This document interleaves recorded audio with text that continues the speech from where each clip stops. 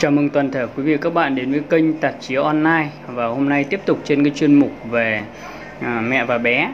Thì à, tôi sẽ chia sẻ cho quý vị và các bạn cái cách mà nấu cháo thịt gà với rau rèn cho bé. Và cái món này thì nó rất rất đơn giản thôi. Và khi mà chúng ta chuẩn bị thì à, nguyên liệu chúng ta cần chuẩn bị thì thứ nhất là ức gà nó khoảng 50 g và gạo thì là 100 g thì à, có cho một chút à, gạo nếp nữa. Đấy, hoặc không cần gạo nếp cũng được tùy. Đấy, và rau rẻ đỏ thì từ 3 đến 5 cây và mấy cái lấm hương và dầu ăn của bé.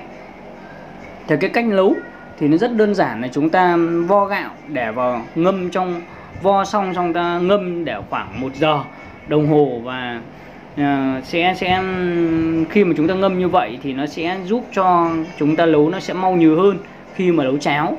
Và rau dền và lấm hương ấy, thì chúng ta rửa sạch để ráo và cắt nhỏ. Đấy, chúng ta rửa sạch đi chúng ta ngâm chúng ta à, cắt nhỏ đi. Và thịt gà thì chúng ta mang rửa sạch và hòa một chút muối với giấm Đấy, muối và giấm với lượng bằng nhau. Và sau đó chúng ta đem trà sát cả trong và ngoài miếng thịt gà để chúng ta loại bỏ cái mùi hôi. Hoặc là mang, ừ, sát qua rượu cũng nó sẽ khử ra qua cái mùi hôi này của mình cái rượu trắng nhá, quý vị các bạn lưu ý như vậy và chúng ta mang hàng gà đi hầm chín và xé nhỏ thịt đối với trẻ mà ăn dặm thì chúng ta xoay nhuyễn và cho vào bát đó chúng ta hầm chín chúng ta xoay xoay nhuyễn thái nhỏ ra chúng ta xoay nhuyễn à, còn đối với trẻ mà lớn thì chúng ta có thể là nó trẻ đã có răng mà nhai thì chúng ta không cần phải xoay nhuyễn chúng ta cần xé ra thôi đó và chúng ta bắc lùi lên bếp thì chúng ta đun đun sôi nước rồi sau đó chúng ta cho rèn lấm hương vào luộc chín rồi vớt ra bát. Đấy, chúng ta lưu ý là luộc chín rồi vớt ra bát. Sau đó thì chúng ta sử dụng cái nước hầm gà Đấy, để nấu cháo. Và khi nấu cháo đã nhừ thì chúng ta cho thêm thịt gà lấm hương rau rèn và thêm một chút mắm và gia vị của trẻ em nhé của trẻ ấy. Đấy, có thể thêm đậm đà với cái trẻ mà, mà đã lớn trên 2 tuổi.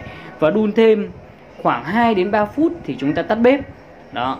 Và khi mà chúng ta bắc ra thì chúng ta lên để nóng và cho trẻ ăn nóng thì nó sẽ rất tốt cho cho cho trẻ của chúng ta.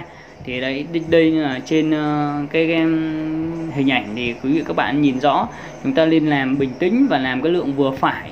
Và đặc biệt thì tôi cũng nhắc lại một lần nữa là quý vị các bạn không lên cho Um, cho cho um, vừa miệng mình.